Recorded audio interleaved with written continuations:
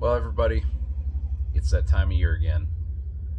Yeah, I'm talking, of course, about Trailer Week. Hi, I'm Clutch from the SoDak Motorcycle Blog, coming to you live from the North Pole.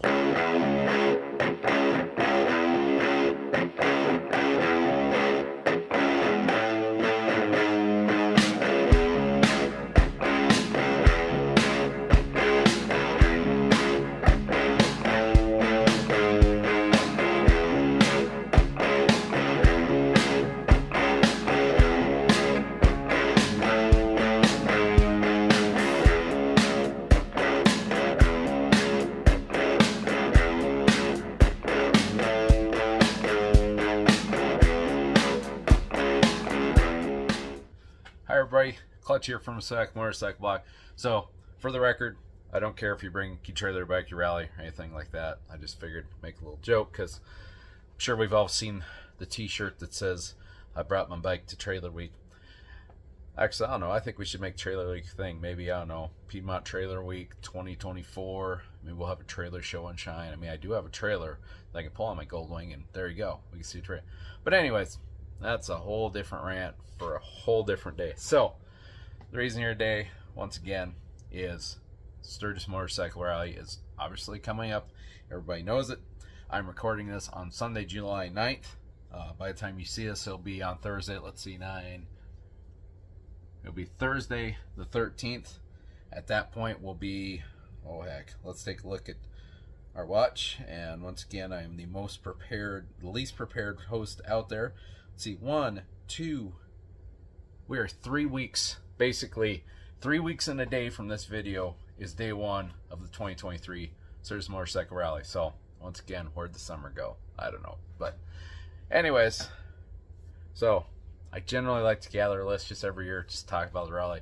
Little survival tips. That's what this is going to be. This is your 2023 edition of the Sturgis Motorcycle Rally survival guide. So first thing I'm going to start with is weather I'm telling you right now, you need to be prepared for everything. Everything but snow. Basically, it's probably not going to snow, but you should be prepared everything else. I mean, I'm talking about cold nights. See a lot of cold nights here. You can see a lot of really hot days. Kind of goes all over the place. The way it's been this year, it's been a cooler than normal year, really wet year. So the nights have been a lot cooler. You're probably gonna, if you're from a place that's really hot, you're probably really gonna enjoy that. Um, but if you're someone who really likes just that hot, dry rally, you're probably not going to find it this year. Um, and here's the other thing you get. You get a lot of severe weather. You tend to get a lot of freak hailstorms. You don't see a lot of tornadoes, but hailstorm seems to be a thing you see a lot around here during rally. So got to be aware of that. Also, too, if it all of a sudden starts drying out, forest fire is not out of the question as well. So there's a lot of weather hazards around here you need to be aware of. So one of those deals where I'd recommend maybe getting a, the cell phone coverage in the hills is pretty pretty good now. I'd recommend downloading some kind of a weather app, just a, if not just just a radar app, just so you can kind of keep a, uh, keep an eye on what the sky is doing. So maybe you can see what that big cloud's doing in front of you, 30 miles away. Maybe it save you from a, a wet day or a painful day if you got to run into some hail. So definitely definitely want to avoid that. And with that, obviously, whether you want you want gear you want to try have you know gear for about everything. Uh, I definitely make sure you have a good set of rain gear. Probably definitely gonna want a sweatshirt too. Um, probably gonna want a couple pairs of long pants too, because yeah, I get it. It's fun to ride in the shorts and a t-shirt, or so they say. But if it's only 65 degrees on the day you're riding, that's probably gonna be a pretty miserable ride. So I'd make sure to be prepared properly. All right. So the next part is bring your wallet. And what I mean by this, things are expensive. Just like any other event like this, things are going to be expensive. Um, you know, price gouging is going to be in full effect. It always is. It's just the way it is during rally. So I would just kind of get over that because, once again, that's how it's going to be. I'm pretty sure if you had something like this in your backyard, you'd be gouging the hell out of everybody coming into trying to make your buck. So just accept that that's just how it's going to be. Um, like I said, we got to deal. Most of us around here, we got to deal with everybody else for weeks. So, like I said, we're going to make money off of you. So, like I said, bring your money, bring your wallet. Um, I'd recommend just kind of avoid trying to hold, do the whole dance of trying to do the rally on the cheap because it's going to be extremely hard. I know some of you can, but you know, there are ways there are ways you can save some money, but for the most part, you know, I would just avoid that. Just come and just spend the money. Heck with it. I mean, you're already coming Sturgis anyway, right? So, this this next part we're going to talk about is police, and it is a huge presence around here. And anytime you have an area like ours, that's a very low population, and also you bring a whole ton of people into it all at once. We gotta, you gotta keep people in line, right? And well, that's why there is a massive police presence.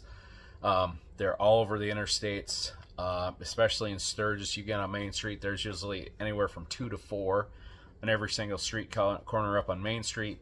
There's roving patrols going on. They are everywhere. Just, just accept the fact that they are going to be over everywhere. So there's a few things you want to do. Leave the drugs at home. I mean, if you really, if if you really got a thing for for whatever drug, illegal drug, just leave it at home and don't seek it out while you're here either, because once again, people out there looking for that stuff. Um, I would recommend not coming looking for prostitutes. Just once again, don't do it. Maybe just leave all that at home, okay? And if you can't if you can't handle not being off that for a week, maybe you got a problem. Maybe you should check yourself into rehab. So let's just not do that, okay? Um, here's another one. Use a damn porta potty. You wouldn't believe the amount of people during Sturgis rally that get hauled in because they decided they had to relieve themselves outside a porta potty because they couldn't find a porta potty. Here's the thing: you, the police are everywhere. They're going to see it. When they see you doing it, guess what? You're getting a ticket. And you're to have to pay that ticket either right there and then, or you're to go spend a night in jail, which, I don't know. I guess it'd be easier just to find a porta potty. They're all over the place. Just hold your wad for 30 seconds and find something. I mean, my God, dude. Um, don't drink and drive. That's always a big one. Um, they're always looking for DUIs because, well, one of the big things that goes to Sturgis Rally is beer and alcoholic drinks and well alcohol makes you drunk and when you're drunk we, we all know this right so don't drink and drive once again to me especially if you're staying in sturgis or at one of the campgrounds around sturgis there's absolutely no reason for you to get a dui if you get a dui you're stupid. Like that's all there is to it. You're dumb. Because there's a bus service. It's called the bus. I think you can buy a week pass for like 40 or 60 bucks. And you can just get on that and ride down from the campground and go drink as much you want and get on the bus and go home. Okay? Like to me there's absolutely no reason anymore to be getting a DUI. It just it's and it's just not worth it. And same deal. Get to go spend a night in jail. Um, it's gonna cost you a bunch of money, all that fun stuff. Okay, so once again, don't do it. About the only law you can really break is the speeding, and even then, I say do that at your own risk. It kind of I what I've noticed is it kind of it, it it's willy nilly sometimes with the enforcement is, and you'll see it all the time where a motorcycle might be going a little bit over, they'll pull the motorcycle over. You know every car that's right that's right behind them going just as fast as they are, but they're going to probably target the motorcycle. That's just how it is. That's just what they do. Um, I would, like I said, I would just do everything, just, you know, do it in your own risk. The big zones you really got to worry about, not so much on the interstate, but there's a stretch between basically where where you get just kind of north of right by Bear Butte there in Sturgis and basically down in the Sturgis, they have a four or a 35 mile per hour zone that goes on forever and ever and ever and ever and ever and ever and it, I mean it's just it takes forever. It's really hard to keep the the throttle in check. So keep an eye on it there. Just watch what you're doing. Um, if you're 5'10 over, you'll probably be fine. But like I said, I to me, I, I once again, all this is just I don't think it's worth the risk. Now without the police, with all the police presence and everything you got to deal with during Sturgis Rally, I do not think is worth the risk at all. Okay, so another thing kind of goes in with the police and the law and all that is parking. Parking is a massive issue in Sturgis, as you can expect. Town of like 5,000 people, you, you make you bring 100,000 people into the city at any given time during the rally. You got to put them people somewhere, and they're on motorcycles and they take up space. So they don't take up a ton of space, but they take up space. So parking is really a big issue. There's lots of people, limited space. I'd say this if you're looking to park on Main Street, really your your best bets if you're like, okay, I got to find a spot, I'd stick to the east end of Junction. Basically, Main Street, East Junction, uh, usually basically from the from the uh, the museum, which is right on the corner of Junction and Main, towards the east. That's not too bad. Usually, you can find a spot to park there fairly late in the day. Um, usually, where it fills up the most is usually towards the west end, over by the Loud American and the um, oh heck, what is it? One Eye Jacks, Loud American, One Eye Jacks. Uh, that's probably where the the most spots fill up. So, like I said, if you really need a spot, stay towards the east side. That's what I would recommend. If you really want to, there are some places where you can pay to park, but in my experience, really about the only year the parking was a real issue that I can remember was during the 75th, and that one was probably the rally that I mean that was probably the busiest. Well, it was the busiest rally they'd ever had. Other than that, usually for the most part, especially if you're on your own, it's usually pretty easy to find a parking spot. You just kind of got to be patient and find the right spot. So, in my mind, you shouldn't have to pay for parking Sturgis if you're on a bike. Now, if you're with a car, that's a whole different story. Uh, if you bring your cage up Sturgis, prepare to walk because it's that's just how it is. Um, I would recommend this if if you got a motorcycle or you got your cage. I would just just just stay on the motorcycle. Uh, you're going to get upfront parking at most places most places have a dedicated motorcycle parking anyway. It's just going to be more beneficial for you to stay on two wheels. It just that's just how it is. So, all right, as far as the rules go. So, if you're on let's see, Main Street. Main Street's probably one of the big ones where you have the motorcycle parking obviously. They close it down from if I remember right, it is 4th Street, which is right let's see. It's just right directly to the west of the Loud American and One Eye Jacks basically from there all the way down to uh, the corner of Middle and Main, which is one block to the east of Junction Avenue. Basically, that's all blocked off motorcycle parking. And if you're between the barricades, you can park there. Doesn't matter. You, there's going to be lines. There's going to be yellow. There's going to be everything painted for when it's normal during normal part of the year. Because as a shock that should be to none, but apparently it is. Sturgis Main Street is not closed to motorcycles all year. Sturgis is a town, a town that has stuff that goes on throughout the year that does not involve the motorcycle rally. So there are normal spots parked there. But if you're between the barricades in downtown, it does not matter what color anything is there. You can park there as long as you're between the barricades. You can park on basically both sides of the road backed in. Also, in the middle of the road, there's generally enough room where you can do a motorcycle and a more basically center line, motorcycle here, motorcycle here. There should be enough room there. You'll see a lot where there's a center line and a bike will park like that. Don't be that guy. Just stay on one side of the center line and you'll be fine. That, like I said, it's not that hard. Or it shouldn't be that hard, but you'd be amazed. It kind of is that hard for people to uh, figure out that concept. So basically, between the lines, you're fine. Otherwise, Basically, don't make a spot. Don't park in yellow spots. Don't park in handicap zones. Don't park in anything else that's not between the barricades because, well, there's a good chance you're going to get towed. Now, I honestly don't understand the rhyme or the reason of towing in Sturgis because when I lived there, um, it seemed like they would just throw a dart at a board to see whether it's towed away or not. And I don't know if it was a deal where they're prioritizing the stolen parts the, on motorcycles or what, but there isn't a rhyme or reason to it. I'd say this in the end just err on the side of caution there. Uh, you know, I, I put it this way: if it's you can't park anywhere else and you have just a yellow spot, you know, go find a pay spot then, because I can assure you that ten dollars to park for the day in a pay spot is going to be a lot cheaper than the tow bill to get you there. Because it's not the tow, it's not the ticket for the parking that gets you. Parking ticket is like twenty bucks. What gets you though is the fact that when it gets towed away, that's where they get you. And that's what's going to cost you the most money. So just avoid it. Like I said, if you're between the barricades, you can pretty much park wherever.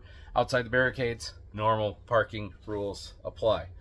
Anything else I missed there? Oh, here's one more thing. Like I said before, if you have a cage, like I said, walk, you plan to walk, you're going to have to. Also, 2 a.m. every night, or every day, every morning, 2 a.m., they clear Main Street. And when I mean clear Main Street, they bring in tow trucks, they tow everyone out of there. You have to have everything off Main Street by 2 a.m. So if you're going to park on Main Street, use your head. Um, I'd recommend if you're going to park on Main Street, make sure you have a way to get that motorcycle home. Um, if there's any doubt, like I said, go just go park, stay parked at your campground. Go find the the bus. It's called D A A D A B U S. The bus. Get a dang pass. Take the bus downtown. Um, but I will say this in the end: if it's probably it's probably still cheaper to get your motorcycle towed over trying to ride it home while you're drunk. So, but just avoid the problem altogether. Either way, point of this part is two in the morning, Main Street closes off. They clear it by, well, towing everybody. So, if you don't want to have to go pay a whole ton of money to the towing company in the morning to move your bike, be a little smart. Make sure you have it off there by 2 a.m. And it's 2 a.m. Like at 2 a.m. they pull barricades and go. It. you, you might be able to have maybe a couple second reprieve if, if they're not at your end, but either way, and I've heard that's kind of used to be a thing. Some guys was, you know, I heard a, someone say you haven't been to Sturgis yet till you've till you've till you've basically raced the tow truck to get your motorcycle off of Main Street. But I would just I would just avoid the problem altogether. All right, so some other hazards to deal with, other ways. So here's a good one: other riders. Yeah, that's right. I did. I I'm I'm dogging out your other riders. Here's the thing. I think of the Sturgis Motorcycle Rally as the largest exhibition of motorcycle riding in North American or North America. Now, that word I you know muted like that, let me put it this way, it starts with an S and ends with Y. Well, you can just use your imagination um, as what it is. But anyways, it's the largest exhibition of city riding in North America. There you go. There's another one for you. There's another way for you to think of it. If you like South Park, you know exactly what I said. And it's legit. Like watch the street camps. Like it is it is some of the most terrible writing that you've ever seen. Just it's it's just chock full of it's you have all these a lot of these people who don't rarely ride or hey look at me i just bought my new bike a week ago and took it right to sturgis. Just it's terrible. It's it's just the way it is. So i would keep it this way. I just assume every rider there just started riding last week. So i generally don't trust any other motorcycle riders in sturgis with really anything. So you're your best uh, solution there. Sorry about that but uh, so my wife just come up brought an important point. So, so to wrap up the other riders, now I could say, hey, go out, take a class, whatever. You know what? It's three weeks. It's too late. You're probably you're probably going down to the dealership on Saturday to buy the stupid thing. So all I can say is, don't be dumb. Or you know what? Go find somebody you know who's experienced, who's actually like legitimate experience, not mileage experience, like does deal does skills drills maybe, and maybe just have them work with emergency braking with you. You know, something. Because for God's sakes, you can't. I don't think you could get a worse time to try to learn to ride a motorcycle than during a Sturgis rally. But like I said, people are going to do it anyway, so it's best. A lot of things, it's like just best to accept it. So that's what I do. Just ride with your head on a swivel. Pretty simple, okay? Here's another one, and this one's from my wife. She works at a local pharmacy before you leave, make sure you have all your medications. Make sure you take them with you. Make sure you use them the right way. Because you wouldn't believe, she's told me you wouldn't believe the amount of people that forget stuff. And it's not just, I need narcs. It's, people forget insulin. That's right, insulin. The, I'm not diabetic, but from what I know as diabetic is that's like the one thing to me as a diabetic you don't forget. They leave it at home or they whatever. Either way, coming in, they want insulin.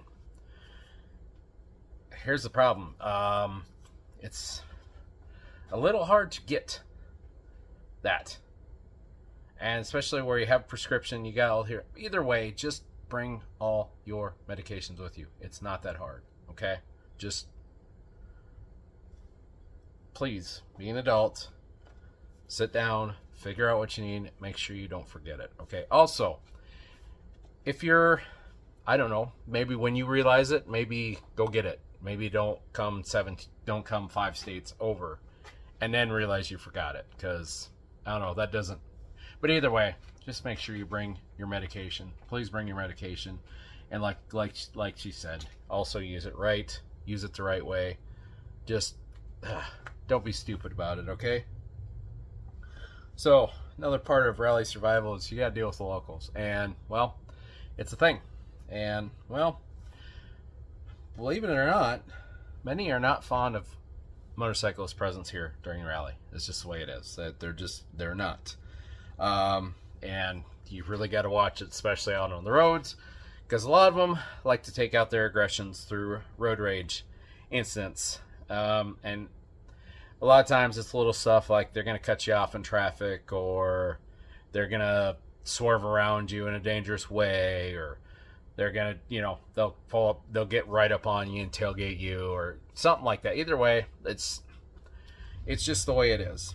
And there are times where the motorcyclists we don't do ourselves any favors because we also pull some dumb stuff like uh, you know, let's not get around a vehicle, let's just sit in a passing lane for 20 miles and then be all shocked when all the vehicles behind us are all mad because we blocked traffic because we were going five miles under speed limit for 20 miles. So do your part. Don't be dumb either, but just expect that, yeah, locals are not just not fond of their presence. And you say, but my Airbnb hosts, they're always so nice. Of course they are. They're getting paid. Money talks around here. So yeah, of course your hotel host, B&B, whatever, basically wherever you're staying at, your host is gonna, of course, be nice to you because they're getting some cash off of you. Maybe not the hotel employee because they're just working a job, but like I said, your Airbnb host, yeah, they're nice to you because you're paying them money. That's it. Like that's why. Like that's stop being so damn naive, okay? Like the locals, like I said, they might they might be a nice, great Airbnb host, but I tell you what, they probably probably tried to run three bikes off the road on the way home because well they are annoyed by the rally even though they're have no problem collecting the money off it but they're annoyed by the rally but whatever. That's just how it is. So like i said be aware of locals watch out for locals. Even if you're a local motorcyclist here from the black hills doesn't matter. You're on a motorcycle and you know this probably as much as i do. Doesn't matter. You're on a motorcycle during a rally guess what? You're kind of a target for the local cagers. It's just how it is. So just be aware of that, be advised of that. Maybe just, you know, just be cool. That'll help you a lot. And that really works in the, the next point is your attitude. Leave the leave the terrible attitude at home. Just leave it at home. It'll be a lot easier for you. Honestly, if you bring attitude into a situation that's full of attitude, it's just going to make it worse. For example, on the road, if a vehicle cuts you off, well, now you're all mad, and now you're going to cut them off, and now you've just made the situation worse and it escalates and escalates and escalates and escalates, and then you have the blowing over point. Now, one thing around here, we have not had any situations like that yet, but I think yet is the key word. I think it's only a matter of time before we have some crazy wild incident here because that's just what happens when you put people that have an attitude and then add in other people that also have an attitude and add in frustration, other frustration factors of, you know, it, of everything that's going on and traffic and everything else, and it's a powder keg ready to blow up. So don't bring your attitude. Leave that home. Or if you're going to bring an attitude, bring a good attitude. Okay? And this goes for everybody. This is anybody around here. Just do your damnedest. Leave the attitude home. It just makes the situation a lot easier for everyone. So here's one final one. And this is, uh, if you've never been here before, you're going to be really impressed with what the scenery is, the rides we have here. We have so many great roads. We have so many great places to go that are not Sturgis. There's so many other places. The rally is so much more than Sturgis. Yeah, you can walk around downtown all day, but excuse me, don't don't miss out on some of the best riding in the world. And one advantage we have here is you don't have to go so far. Like you could ride to the Badlands and back and have a good all day run, and you might put maybe 200 miles on the bike.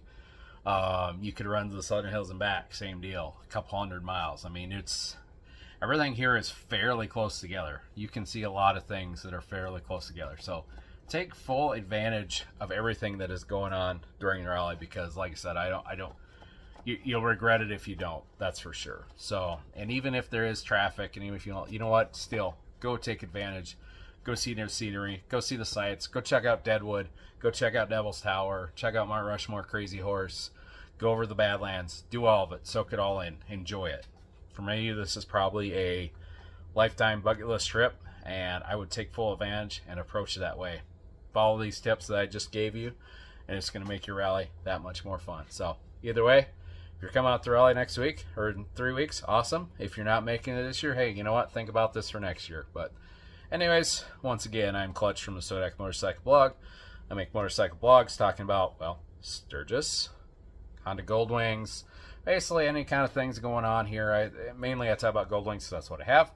But anyways, we have new videos come out every Thursday at seven o'clock Mountain Time. So, or you can hit that subscribe button and that bell notification icon, and you'll get a notification every time I release a new video. So, once again, I'm Clutch from Sodak Motorcycle Blog. We'll see you later.